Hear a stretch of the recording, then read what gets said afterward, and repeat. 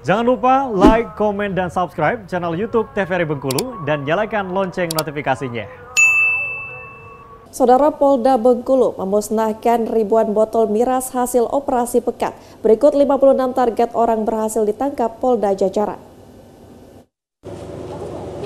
Polda Bengkulu menggelar pemusnahan ribuan barang bukti hasil operasi pekat yang berlangsung selama 13 hari.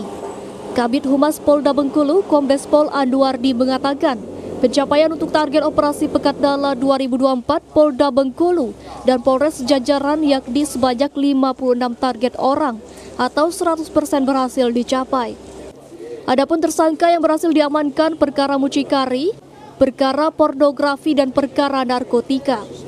Selama operasi pekat, Polda Bengkulu juga mengamankan 3.830 barang bukti dengan rincian 3.593 botol miras, 11 unit sepeda motor, 40 paket sabu, 90 dus petasan dan ratusan barang bukti lainnya.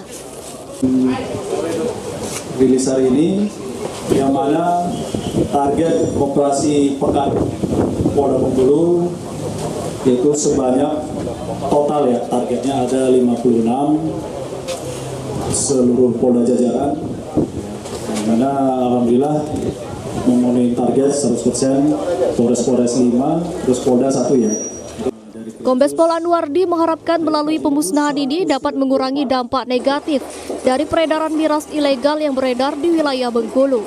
Abdi Wijaya Pranata, TVRI Bengkulu melaporkan.